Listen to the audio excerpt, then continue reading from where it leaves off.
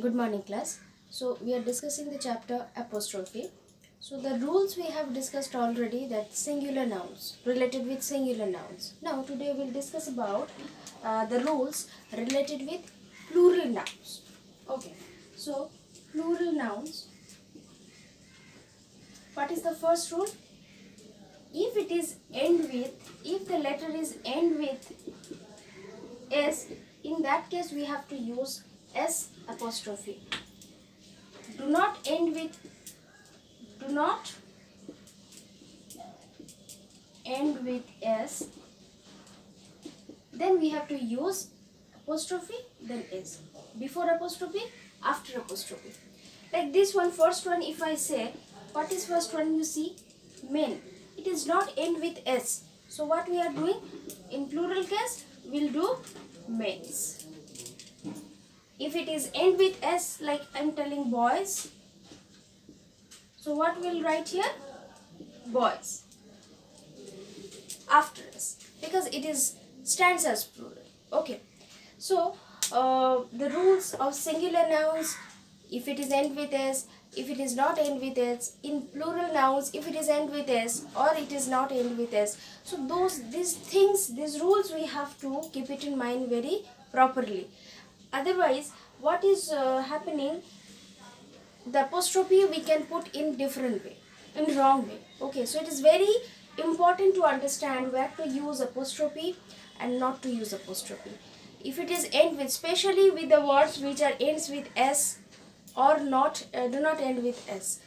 So this is these are the rules and related with that uh, exercises are there. So we'll do that one. So let's see first one the exercise C. What we have to do is that here we have to rewrite it the sentences where it's need apostrophe. Like first one you see they traveled we traveled in the boys car. Why? Because boys is actually here represent as plural.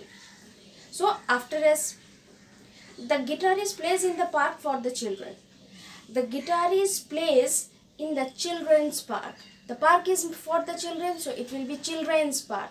So here it is plural already. It is not end with S. So we'll put apostrophe then S. Children's, we'll put apostrophe then S. Let me write that one. The correct one I am writing only.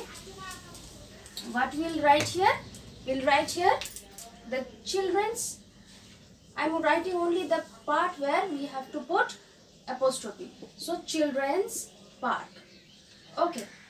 Number three, the uh, Geetika entered the clothing section for women. So Geetika entered the women's clothing ses center session. Uh, where it is section it is women's for women. So we'll write here women's that is also plural not end there. So we'll write women's clothing section. Women's clothing section. After the number 4, the cat drank up the milk for the babies. Now you see here it is already end with this. So we'll put before apostrophe. The cat, the cat drank up the baby's milk. The, car, uh, the cat uh, drank up the baby's milk. Here it is already uh, S is there, end with S. So we'll put apostrophe S. Baby's milk.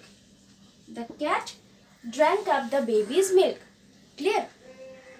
Alicia stayed at house of her cousins. Means it is already end with S. So we'll put apostrophe S. Where Alicia stayed at her cousin's house. Her cousin's house. We'll write here uh, her cousins apostrophe s so we'll put here cousins house okay so this is only the exercise so if you write down the exercise. You can understand what are the rules we have discussed. It will be easy for you to understand. So try to complete this exercise. And next day uh, next class we'll discuss something different about this apostrophe okay? Till then just revise this chapter. Thank you class